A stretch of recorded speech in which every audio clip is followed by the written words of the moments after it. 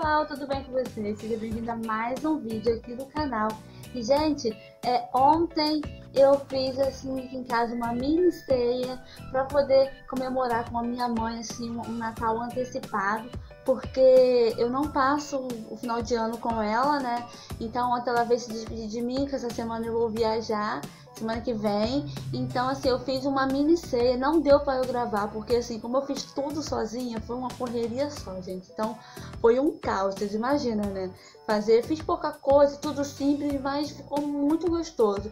Eu só gravei para vocês como ficou tudo pronto, tá? Eu filmei para vocês, vou colocar também no final mais fotos que nós tiramos, só para mostrar para vocês, tá bom? Então, gente, já curta, deixa aqui nos comentários o que vocês acharam.